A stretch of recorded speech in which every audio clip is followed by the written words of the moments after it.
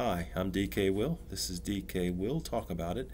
And based on the response from an earlier video that I did on an update for the status of the Iraqi dinar, I'm doing this video as well.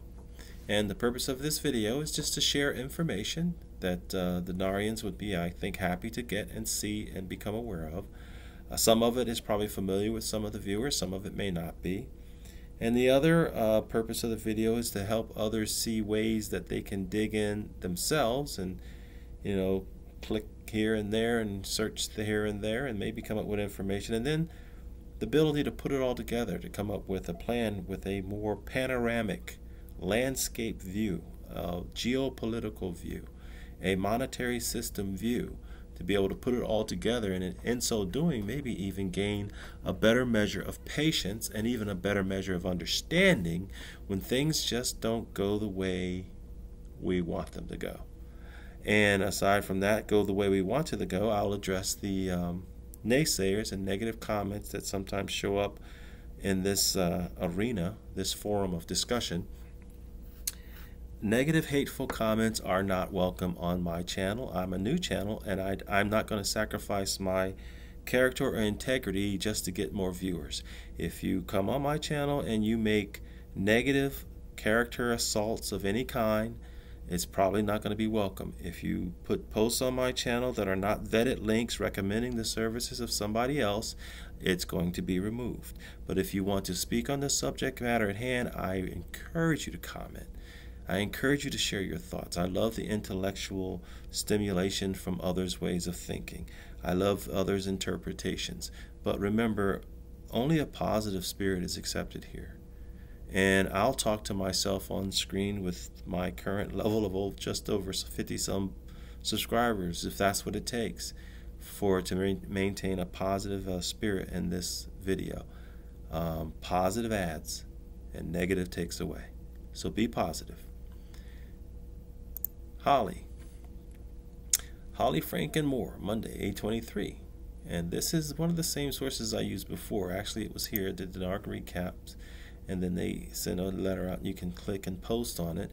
And I went to find this one because uh, I like to read what it says. It's kind of like a collection. But Holly, Monday RV News, she says, Your struggle is over. We have climbed the mountain. It has been a long, tiring uphill journey, but we have made it. Ain't that the truth? If that's true. It's time to cross to the other side and reap the rewards of our journey. It's been an honor to be at the helm and guide you through these years. May my words of wisdom echo as you venture on your own paths. May you be good stewards of this wealth, and may we all come together to heal this world and humanity. For that has been our purpose, and we have waited patiently for this moment in time. Where are we? The news from all my sources is we have crossed the threshold and we have finally arrived at our long awaited time to come to the table. The funds have been flowing through the different levels. They will hit our level this week. Temper this information, folks. Don't get too excited. But this is important. Remember to be quiet when you exchange. You do not have to tell anyone where you got your money from. Be safe and be careful of the scam artists that will prey upon you. Now more than ever, do not give your currency or post exchange funds to anyone. Be very discerning with the people you choose to do business with and associate with after you exchange. This is not a transition. This is a transition, excuse me, not a transaction. We are ready to transmit from our old way of being to a new way. Give yourself time to adjust. This week will be the start of many new beginnings. Hallelujah. Thank God for getting you to this point and giving you the strength to go the distance. All we do going forward is for the honor and glory of our Father. It's not about me or you, but about being in service to God our Father. Your heart, mind, and spirit have been readied for this next phase of your life. Do well and prosper. Positive vibe. What else we got? Holly's not alone. Mark Z is rather popular amongst the uh, communicators. And Mark uh, made the comment here I have three different large groups that are expecting currency exchanges to start somewhere around 2 p.m. Eastern today. Uh, that would be now, Central, where I'm at. Most of these are in the Reno area and are expecting the first liquid funds. We'll see how that goes. These contacts in different groups that have no relation to each other. I'm hearing the same thing from a number of them. The ones expecting funding today are currency groups, some of the large church type groups.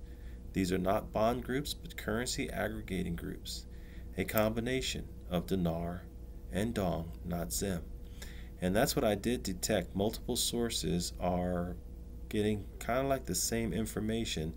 And I will say again, folks, just like what Holly said, you know, this is a transition, not a transaction. And and sometimes misinformation is necessary because there's a lot of bad guys out there.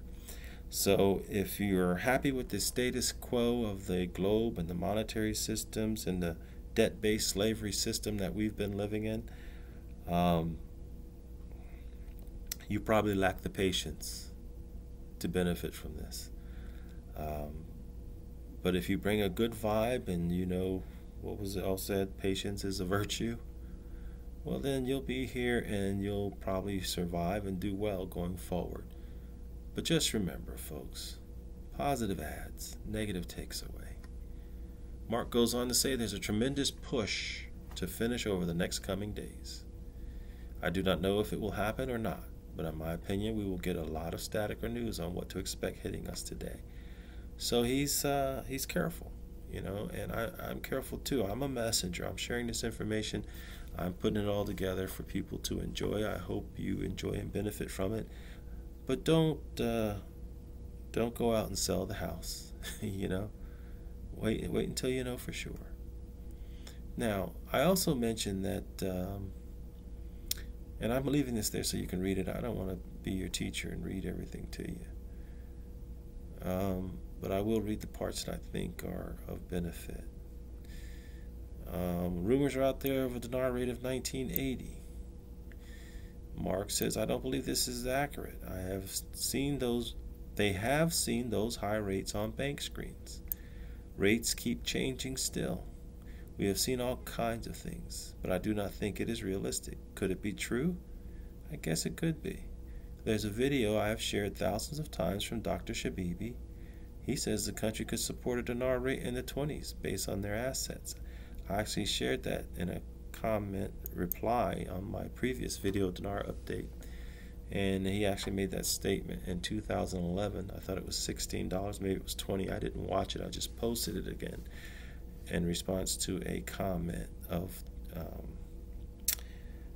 incredulous uh, approach to if whether or not it's possible i say keep your minds open folks this is not something that's happened before and keep your balance now, I also mentioned too, though, once again, I'm leaving it there so you can read it. You know, we can dig and we can point and we can click and we can gather information. And I put the links always in the description of my videos. And so every place I go on this video will be down there too. And some places I'm going there to share the information, other places I'm going just so to set you off to be the spark for you to go and to see how you can go and find information. And so you've seen that I uh, get this uh, newsletter from Dinar Recaps. And of course, when I click on it, I end up in Dinar Recaps, and you can see there's choices here to choose from as well. And then, of course, the articles I'm reading are from there, and you can choose to read them too because there's multiple sources. An earlier one that I used was called Dinar Guru. And the reason I did it is because um, it has a collection of what a lot of people are saying. Now, do you make your monetary decisions based on what somebody told you on the internet? I hope not. Or just something you read on the internet? I hope not. But if you want to take in information and then mull through that information and determine what seems true and what seems false, you know, it's good to be able to go and look and see what they say, and in some instances, go check it out. And so here you can see the words of uh, very many of them. The link will be in the description for the sake of time. This has already taken longer than I thought it would. Um, I'm not going to read any of this, but I am going to show you that this one puts together what a lot of them are saying. Okay, there's no reason to judge this site anyway in a negative way. It's just sharing information. Information that it also shares is over here. It always shares the going rate right here. Um, and that's just, you know, you go to the library and there's a fiction section and there's a history section and a science section. You decide what section to put the information in in your library of knowledge. Sorry, how did I do that? But at the same time, um, if you don't have the information, you don't have any knowledge. Uh, here's another one News Now. I like this one. I like News Now, and I'll tell you why I like News Now. Because it pulls in news from all over the world. Here you can see an Iraqi flag, a United States flag. Here you can see a Turkey flag. Here you can see Iraq flag again. And as you go down, here's a Great Britain flag and a United Kingdom. And you can see here I'm on the United Kingdom edition. Why not try our U.S. edition? I don't want to because I don't trust the U.S. media. I don't necessarily trust the U.K. media either. But I'm not going to follow the path that's laid out for me just to get the information because I might get information they're not willing to share in the U.S. Because here we also have the Canada flag. And so I like this site because I, it gets me all over the world into checking into things. And then along the sidebar, when I'm going on here, uh, it disappeared. But along the sidebar, it tends to have other in the news now links here on the right side that may direct you somewhere else. And this obviously can be done a lot faster than what I'm doing it right now. But, you know, I'm just showing you how you can go and get information. Here's some Middle East stories. There's Israel's flag. And here we got ship erupts into flame, the United Arab Emirates flag.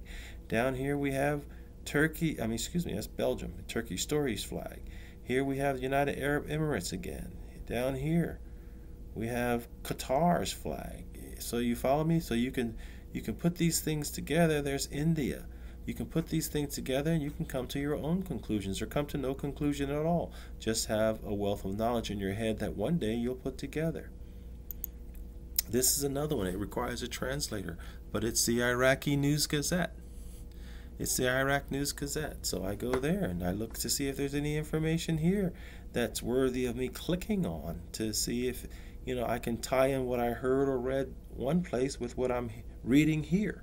And so that's the way to do it. And then of course we always have the government of Iraq, which also may require a translating program but it gives you information from the government's perspective. Um, there we go. I did that again. Sorry. Um, but this is the way you get a picture of what's going on with a more comprehensive viewpoint, not relying on any one particular source or any one particular guru. And then, of course, if you're interested in the Iraqi dinar, you certainly should be interested in what their central bank has to say, which also will take a uh, translator program. But you can go here to the website directly of the CBI, the Central Bank of Iraq, and you can uh, always uh, scroll down and you can see here, there's the rate right there, 1460 USD. And, you know, whether or not they're going to put it here ahead of time or after the fact, we don't know, but it's another source of information. And then I have more. Um, this one here, Before It's News is a good site. Uh, you get information, you know, according to the title of the information before it's news, and uh, when you when you click on the area that you want to go to, um, you can decide if there's any information in there. And basically, it's putting everything together and for you so you can make some decisions. I also have been known to go to this site here, Dinar Updates. It'll also be in the link. I can't remember my sign in on this uh, new laptop. I have to go to my old laptop where it probably has it in the memory. But you can go here to these blogs and current Iraqi news and Iraqi 101, in depth analysis, questions, discussions, and rumors. I found this interesting to go to.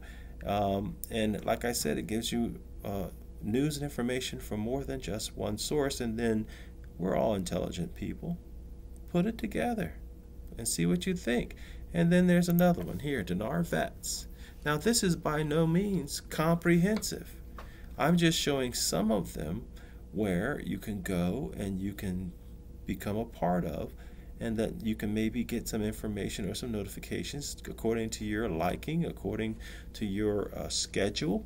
you know, according to your frequency. I, you know, there comes a limit to how many times I want somebody to bing me up or hit me up with a notification. And I'm sure many of you feel the same way.